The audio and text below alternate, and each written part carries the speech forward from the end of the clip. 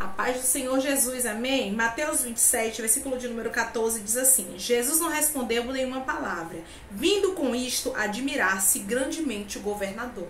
Jesus se calou.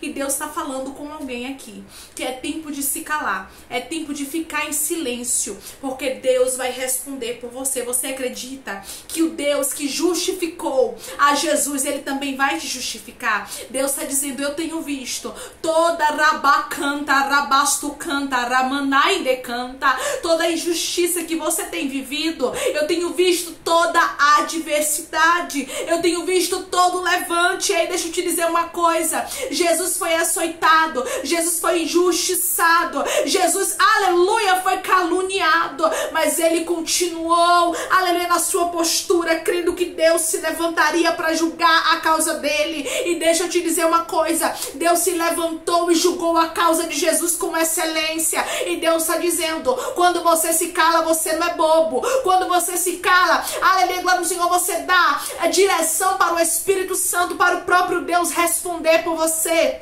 E Deus está dizendo: Eu irei responder por vós, como respondi pelo meu filho amado, porque eu sei onde é que está a culpa. Eu não inocento culpado e não tenho culpado por inocente. Ei, Jesus foi levado inocente. Talvez sair do outro lado dizendo: Irmã, eu sou inocente. Irmã, eu não fiz nada. Eu preciso falar, eu preciso me justificar. E Deus está te dizendo: Guarda as tuas palavras, porque quem te justifica sou eu.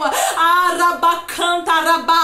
canta, arabaia. Eu vou repetir. Deus está dizendo: guarda as tuas palavras, porque quem te justifica sou eu. É quando você se cala, quando você fica em silêncio, o Espírito Santo responde por você. Quando você se cala, você fica em silêncio, você dá lugar para que Deus trabalhe ao teu favor. E Deus está dizendo: você está em silêncio e eu estou trabalhando ao teu favor. Pega o exemplo de Jesus: se cala, porque Deus vai te justificar. Que Deus te abençoe.